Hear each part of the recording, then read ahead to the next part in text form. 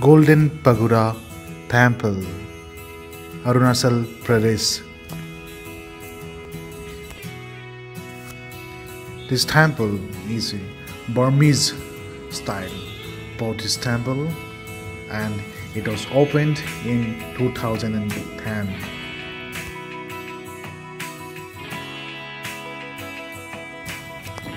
It is also known as Kangmukham in the Khamti language.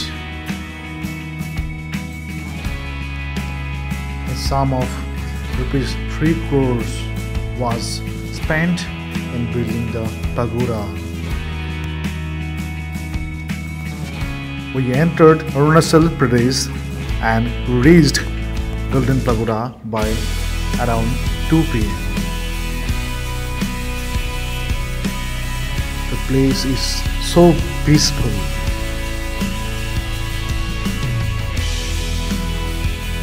The view around the temple is so great. It is located on a 20 hectare complex in Namsai district of Arunachal Pradesh. The complex is well maintained and very clean very peaceful. The World Tripitaka Foundation is currently developing Kangmukham or this Golden Pagoda as the first international Tripitaka center in India. Tripitaka is a traditional term used for various Buddhist scriptures. In English, it is known as Pali Canon.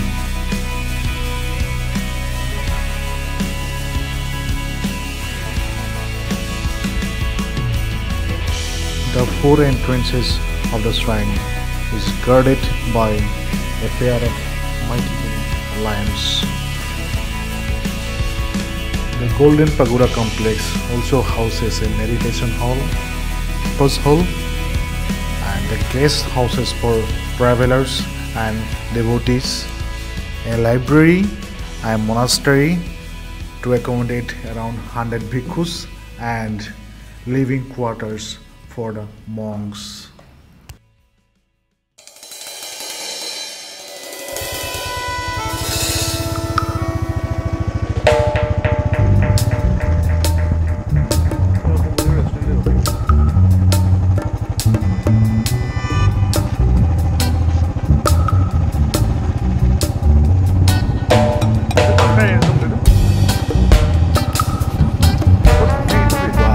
Thank you guys for watching this video. If you find this video good, then give it a like and do not forget to subscribe. Because if you subscribe, I get more energy to make more videos. So please comment, like,